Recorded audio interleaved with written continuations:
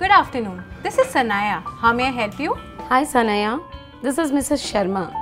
I would like to finalize the washing machine order that we talked about last week. Of course, ma'am. I do remember. Could you please help me with your phone number so that I can pull out the details of your request? Okay then. Thank you for everything Sanaya. I guess I'll place the order today. Congratulations on taking a great decision. Let me help you place the order, ma'am. May I put you on hold for a minute while I transfer your call to the order taking department? Is that all right? Yes please. Thank you. Friends, that was a little trailer for you. If you remember, Sanaya had done a warm transfer of Mrs. Sharma's order for a washing machine. The call comes to Ravi, who is in order taking. Let's take a look. Hi Ravi.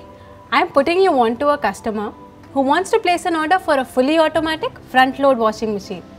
She has opted for the anniversary discount and we have promised her free delivery. Her name is Sheetal Sharma. Will you take her order please? Okay, sure. Thanks, Sanaya. Hi ma'am. I am now connecting you to Ravi Tripathi in our order taking division. He will take the order for you. Thank you for calling. Wonderful. That's what I call a smooth transfer.